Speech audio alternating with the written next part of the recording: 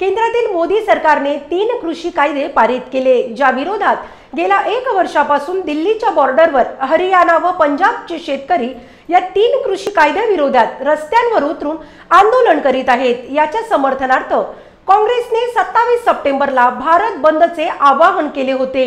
या अनुषंगाने नागपुरातील व्हेराटी चौक गांधी पुतळा येथे बारा राष्ट्रीय पक्षाने रस्त्यांवर उतरून आंदोलन केलं.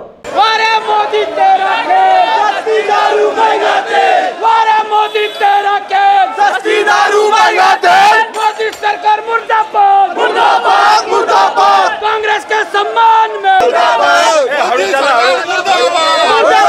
मुर्दाबाद। किसानी विरोधी सरकार मुर्दाबाद। मुर्दाबाद। मुर्दाबाद। काला कानून। भारत मोदी सरकार के खिलाफ में जो भारत बंद का आह्वान किया गया है नागपुर शहर में भी सारे पार्टी के लोग इसमें बंद में शामिल हो रहे हैं लोगों को अपील कर रहे हैं कि अपन बंद कीजिएगा। आपल्या देशातील किसान मागच्या दहा महिन्यापासून त्रस्त आहेत त्याच्यासाठी हा बंद पुकारलेला आहे. मोदी सरकारने ज्या किसान विरोधी जो कानून आणलेला आहे तो कानून बंद करण्यासाठी तो कानून बंद रद्द करण्यासाठी आम्ही हा आज जनतेवर उतर जनता सरकार सरकार सरकारच्या विरोधात सडकेवर उतरलेली आहे.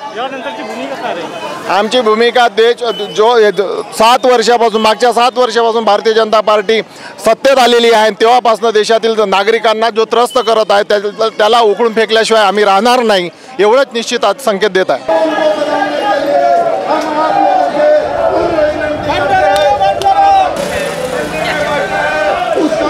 आज आपको मालूम है केंद्र की दमन नीति के खिलाफ केंद्र ने आज आप देख रहे होंगे, एयरपोर्ट बेचा, रेलवे बेचा, ओएनजीसी बेचा, जेट बेचा, सारा भारत देश बिकने की कगार के ऊपर है और हम कंगाल हो जाएँगे और एक कोई बेरोजगारों की कोई नीति नहीं है और कारखाने बंद हो रहे इसके खिलाफ एक केंद्र सरकार के दमन नीति के खिलाफ आज का बंद है और निश्चित तौर से ये केंद्र की सरकार हम 2024 में उखाड़ के फेंक देंगे और निश्चित तौर से गरीबों को न्याय देंगे।